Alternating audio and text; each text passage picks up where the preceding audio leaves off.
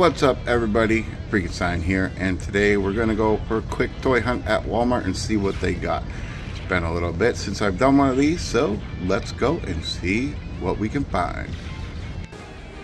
What's up everyone and today we're going to be looking at some Transformers at Walmart. Of course they still have these Rise of the Beast helmet Transformers. And then up here we got some 86 uh, Sharkticon and Sunstreaker from Bumblebee. And uh, we have Gamer Megatron. Um, we have Sideswipe, Gamer Sideswipe. Uh, Concept Art Sunstreaker. Airazor. Uh, we got Rhinox here. Down here, we have these guys. Yeah, they're all the same. And we got some 40th anniversary uh, blaster and Soundwave.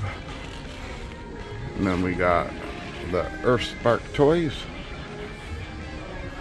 A couple of these uh, legend figures. A few new ones. Not too many. Let's see what we got back here. Oh, it looks like he's got a repaint from the one I had. And of course, we got Rumble.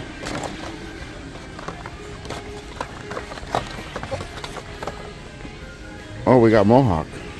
That's cool. I love Mohawk. and continuing down, we got uh, these guys. Some more of that uh, Earthspark stuff.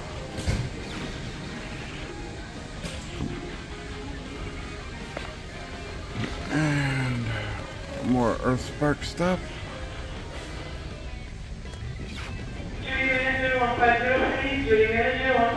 And of course, Concept Megatron. We got some Scourge and Rhinox.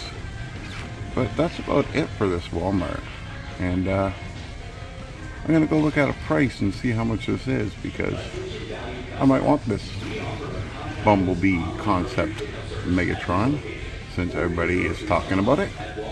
But uh, yeah so like always don't forget to hit that uh, like and subscribe button. This is Freakenstein saying keep playing Freakenstein out